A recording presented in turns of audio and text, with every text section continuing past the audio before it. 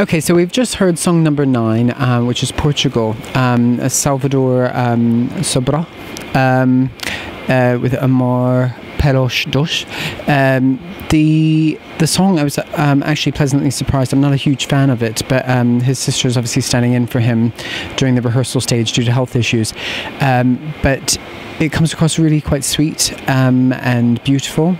The my only criticism I think would be the beautiful backdrop that they have, which is sort of forestry and uh, fireflies, doesn't really um, come across as well on the the camera um, as it does in the venue. Um, they're using the um, the smaller stage out in the middle of the audience, so obviously the backdrop is much further away.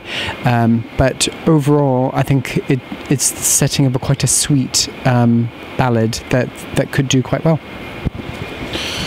Uh, yeah, it was.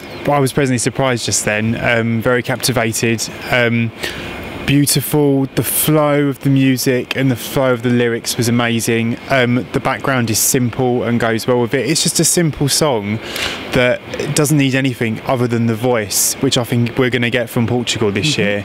Um, so I, I do think they're going to qualify, and I, I just think it's, as you said, classy, like you did with Finland. But this is class. Finland, no, it's just simple, beautiful, elegant, amazing. So I'm really shocked. So come on, I'm rooting for Portugal now.